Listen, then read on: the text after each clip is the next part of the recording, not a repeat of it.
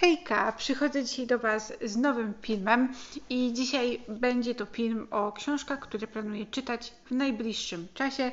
Myślę, że jest pewna nadzieja, że to są książki, które planuję przeczytać w sierpniu i pierwsza z nich to jest moja kuzynka Rachela Daphne de Maurier.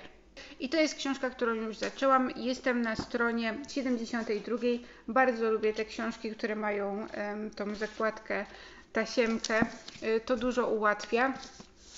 Powiem Wam tak, zaczyna się bardzo mocno, wręcz mam taki trigger warning, zaczyna się od bardzo brutalnego opisu wieszania ludzi. Także ja wziąłem tą książkę, żeby tak, wiecie, się zrelaksować wieczorem. Od razu dość drastyczne sceny tutaj w tej książce wjechały. Nie wiem, czy potrzebnie. Rozumiem, że miało to na celu wprowadzenie w nas w to, jak był wychowany główny bohater który wychowywał się mm, ze swoim wujkiem, ponieważ jego rodzice zginęli. Nasz główny bohater żyje właśnie w domu swojego wujka, który jest bardzo bogatym człowiekiem i kiedy mm, doskwiera mu reumatyzm, to lekarze radzą mu, żeby wyjeżdżał na całą zimę gdzieś do ciepłych krajów, do Włoch, do Hiszpanii. No i tak się właśnie dzieje i pew pewnej zimy, kiedy nasz główny bohater już jest dorosłym człowiekiem, skończył szkołę, jego wujek wyjeżdża do Włoch, tam się zakochuje w tytułowej mojej kuzynce Racheli i umiera tam w dość tajemniczych okolicznościach. Wiemy już na tym etapie książki, że właśnie kuzynka Rachela pojawi się w życiu naszego głównego bohatera.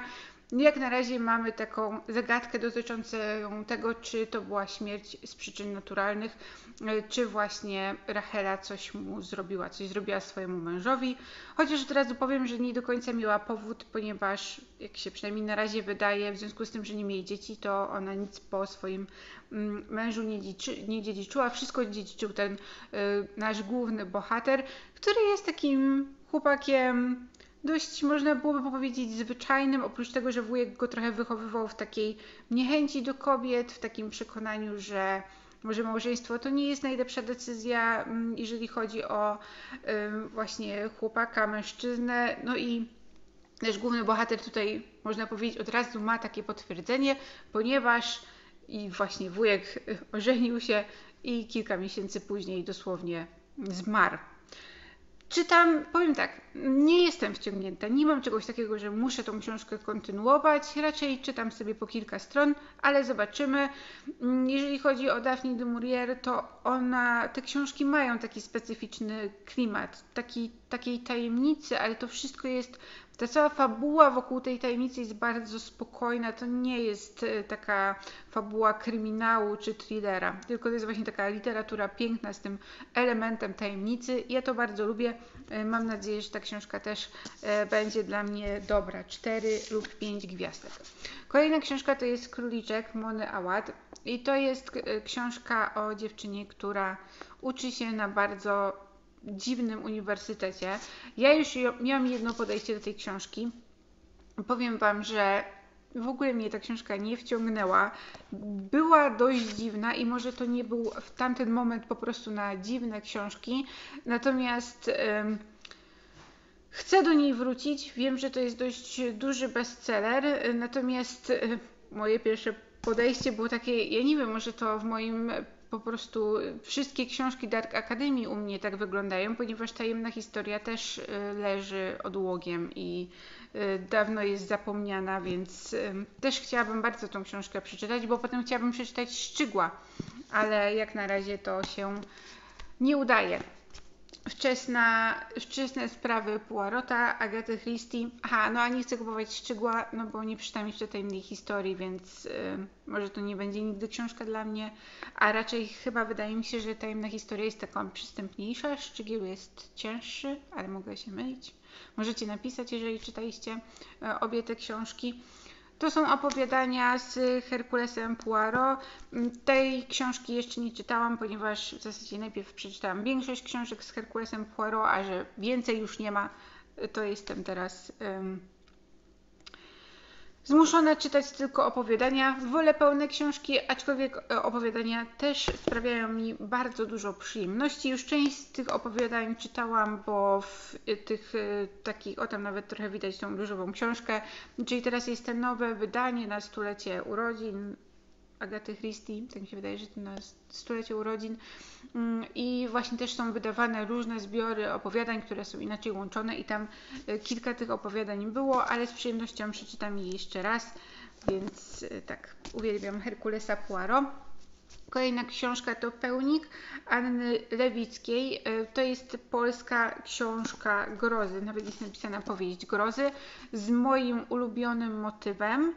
Mm, znaczy może nie najulubieńszym, ale z motywem, który lubię, czyli porzucamy miejskie życie i udajemy się na wieś, mieszkać w jakimś starym, opuszczonym, odziedziczonym domu. I tutaj mamy prawniczkę, która właśnie do tego domu, do, ten dom się chyba nazywa Pełnik, a nie, miejscowość nazywa się Pełnik, więc jestem tej książki bardzo ciekawa, też ją dorwałam w taniej książce nad morzem i to była książka, którą kiedyś w ogóle miałam zapisaną na Storytelu, że chcę ją przesłuchać. Do tego nie doszło, więc teraz będę czytała. Bardzo też y, podoba mi się ta okładka. Kolejna książka Dark Academy, którą bardzo chciałam mieć i odkąd ją kupiłam, to po prostu leży na półce.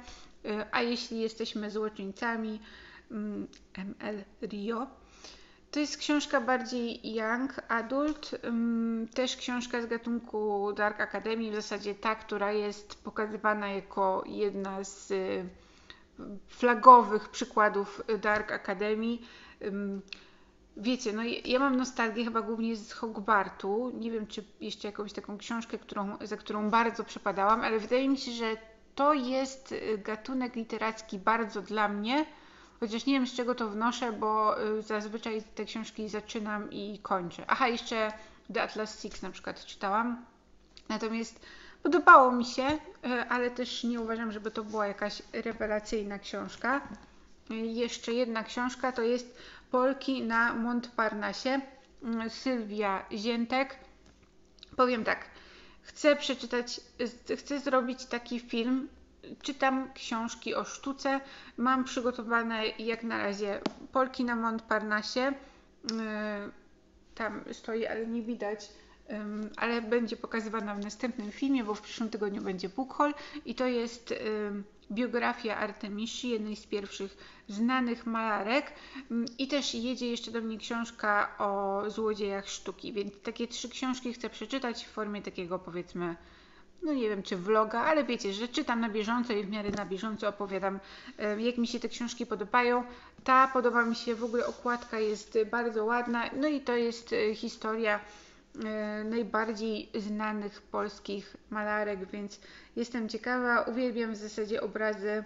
Nie powiem, że kojarzę wszystkie, ale oczywiście kojarzę Boznańską, Annę Bilińską, kojarzę tam Marę Łępicką, więc to jest coś czym po, po prostu jestem zainteresowana i tak gdzieś mi mignęła ta książka w filmie o zupełnie innych książkach, y, natomiast ta autorka właśnie wtedy mi mignęła i sobie sprawdziłam i mówię, no to jest książka, którą bardzo, bardzo, bardzo y, chcę przeczytać. I ostatnia książka to jest y, Thomas Hardy, Z dala od zgiełku.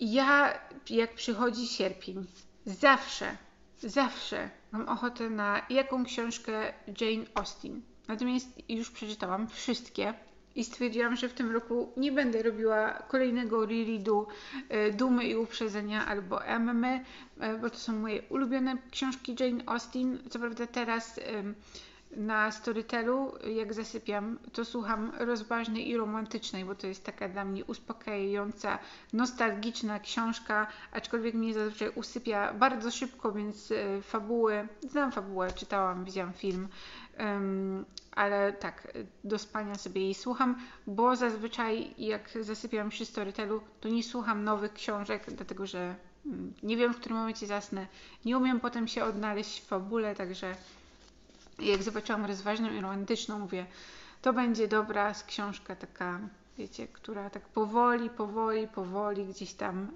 y, nas z, nie, nie, nie zaintryguje nas na tyle, że będziemy się co chwilę budzili i mówili a co tam się będzie działo, a co tam się będzie działo, e, tylko właśnie mm, nas ukoi.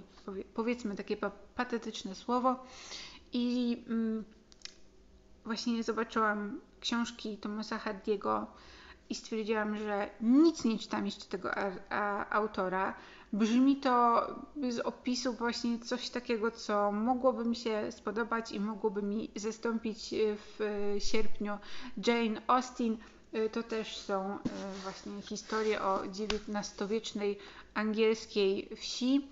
Jeżeli chodzi o te wydanie z świata książki, powiem szczerze, do mnie jakoś nie do końca przemawiają e, i boję się bardzo, że te książki będą się niszczyć, ponieważ mam wiek niewinności, z, wydaje mi się, że z innego wydawnictwa, ale też mm, ta książka jest e, bardzo podobna, jeżeli chodzi o ten o tą okładkę, no i ona się bardzo, pomimo, że jedna osoba, ja tylko ją raz czytałam, to ta książka jest bardzo zniszczona i podobnie mam z książkami, na przykład Dobre Wychowanie e, Amor Toulesa, one też mi się bardzo, bardzo szybko zniszczyły.